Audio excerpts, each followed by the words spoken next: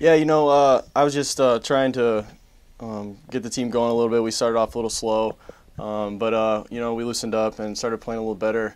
Um, I think uh, my outside shot opened up a little bit because I, I got in in uh, the lane a little bit, um, which is kind of not ordinary for me. So, um, you know, we didn't panic. Uh, we knew they were going to be a, a, tough team to play with. Um, they come out and play hard. Um, that's what we expected. So, you know, we bounced back. We had, we had our run.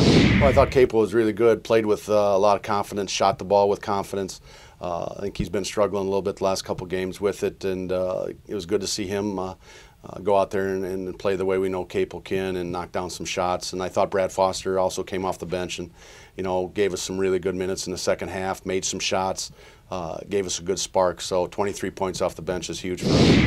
Well, I, you know, I just thought we, we didn't we didn't execute. We uh, I thought settled for shots. We didn't move the ball. We didn't get in the paint. Didn't get the ball to the paint.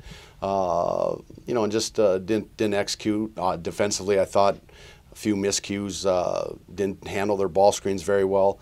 But uh, I think as the game went on, we kind of got an idea of what they were doing and uh, made some adjustments. But uh, you know, certainly proud of our effort and a uh, good win. Any win in this league is a good win, and uh, I give Rockhurst a lot of credit. Drew's done a great job with that team, and they're a tough team. You're going to have to beat them. They're not going to beat themselves.